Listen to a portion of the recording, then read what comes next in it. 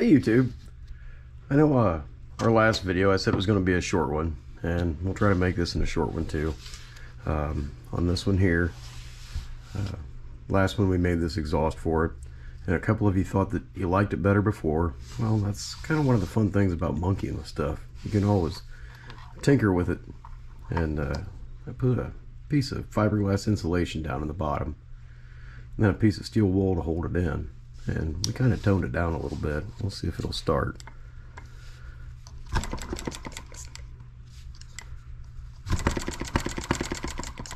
Almost.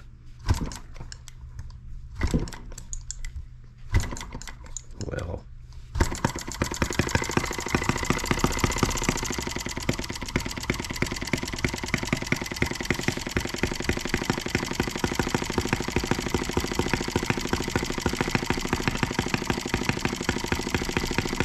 So that toned down our exhaust note quite a bit.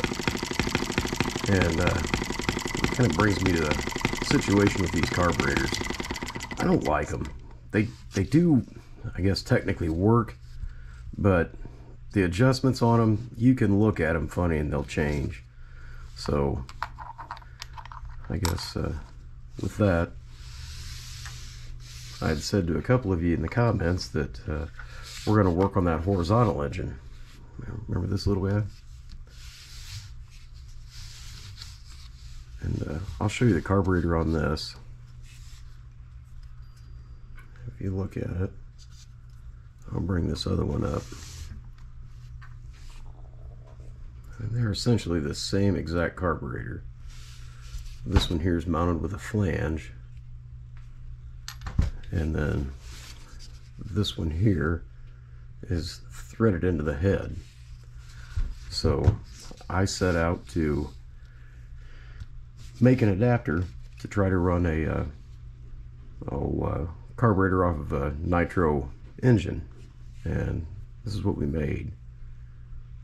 And we spun that down and when it came to these threads we were in for a real Shanghai surprise because they are metric but bring it in here where you guys can maybe see. The thread pitch is so stinking small but we got it. And uh, we're gonna take this carburetor off. Before we go or before we pull that off I guess we ought to see if it'll still run. There's that better? You guys see it if we try to start it this way? I'll give it a little bit of throttle and choke it here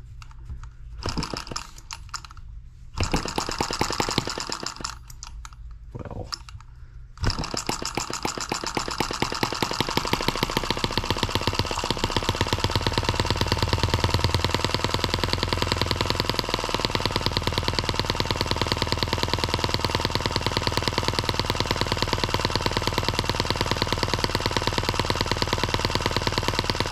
So I guess, yes, we do know that it still runs.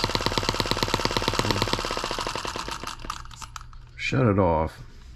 And then uh, we'll get our fuel line and stuff off of there. I'll get this carburetor unthreaded. We'll put that other one on here, put a new fuel line on it. Uh, before I cut away, we are not done with that Showman's engine yet. We've had uh, a temperature swing anywhere from 40 degrees Fahrenheit to 60 degrees Fahrenheit and it has rained almost every day. So I guess you guys can understand what that's going to do with getting paint to work and cooperate with you but we are almost done with it guys. So I've been out here just kind of monkeying with these and waiting for a good day to get our final coat of paint to put on the top of that canopy. So all right with that said I'll be right back. We'll put that other carburetor on here. We'll see how things line up what it looks like get a fuel line onto it and uh, start monkeying. So stick around, we'll be right back. Okay, so we got our old carburetor off and uh, I'd had somebody ask me about how to adjust these. And uh, this is your main jet. This right here is your low speed jet or your idle jet if you will. And uh, these things are so so sorry these things are just so touchy you can take your screwdriver sometimes and just touch the head on that low speed and it will change it just because of the rattle fit on that adjustment needle. So um, the carburetor that we put on, essentially the same principle. I mean, all carburetors work the same. So it is essentially the same principle. We have a rotary barrel. You guys will be able to see down in there, I'm sure. That opens and closes. And if you look, you'll see how this ramps up. When it ramps up, it pulls farther away from this main jet, allowing more fuel in. And when it's at an idle, that right there is the position of the needle metering the fuel as the air goes by. So with that said, let's take a look at this Rube Goldberg contraption. And yeah, it's a it's a big carburetor. It looks terribly, terribly out of scale, but just remember guys, this is for testing purposes and I guess we're learning. We put this big loop of fuel line in here so we can visually see if we are drawing fuel or not. So you can see in the barrel of this one that would be wide open and that would be idle. And if you watch up here I'll try to keep my fingers out of your way. You'll see this ramp up. Let me grab a something to get my fingers out of your way. Use this pick. Can you see it ramping up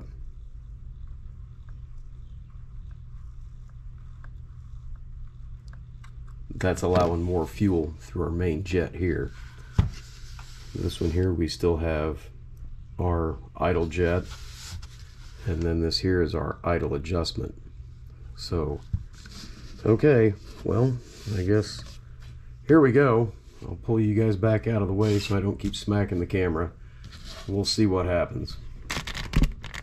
We're going to roll it over until we see fuel come up to here, and then we'll turn our ignition on I'm going to keep my hand on here in case it tries to run away. But okay.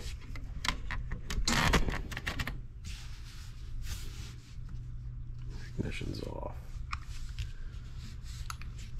Wide open. Oh, look at that. Did you guys see that fuel shoot up here right away?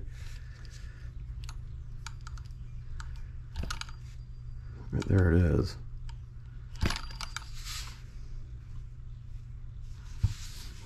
Okay.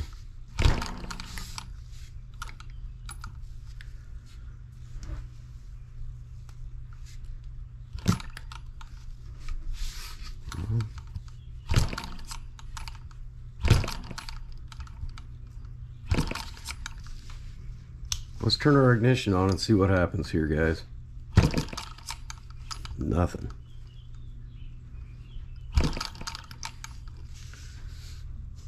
Can see fuel laying in there. I bet you we floated the tar out of this little guy.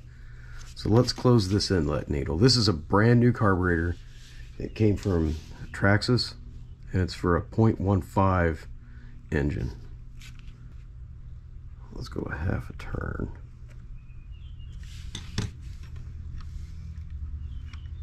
I can see fuel in there. I think we flooded flooded it bad, guys.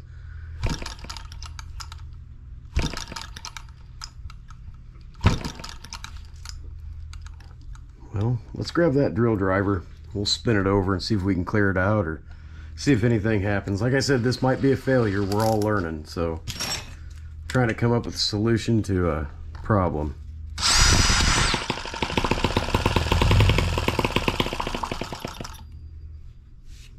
Well, it might be too much carburetor, but it does run on it. We'll give it one turn. Seemed like we ran out of fuel.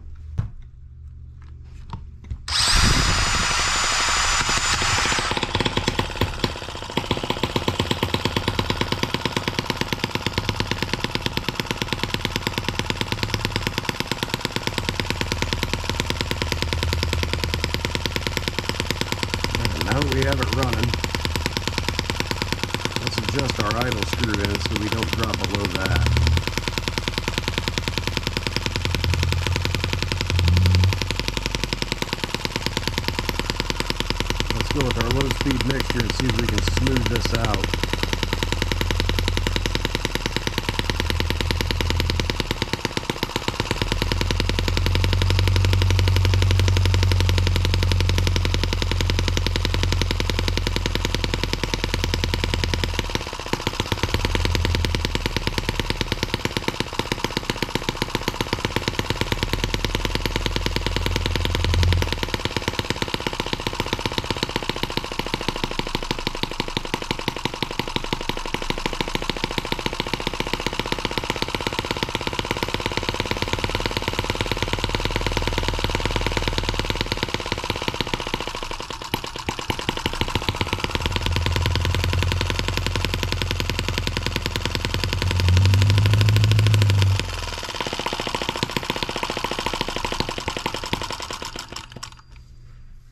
Not sure, guys. There might be something to this. There's going to be a little bit more tweaking and dialing, but we might end up with something.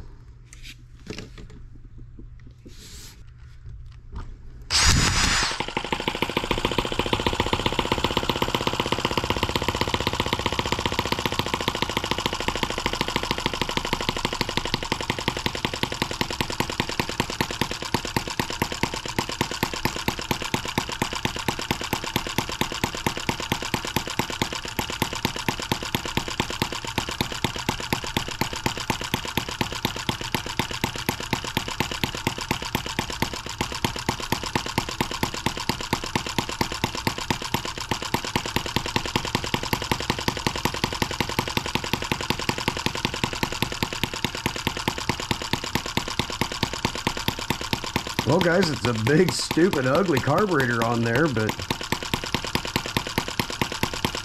it is running on it.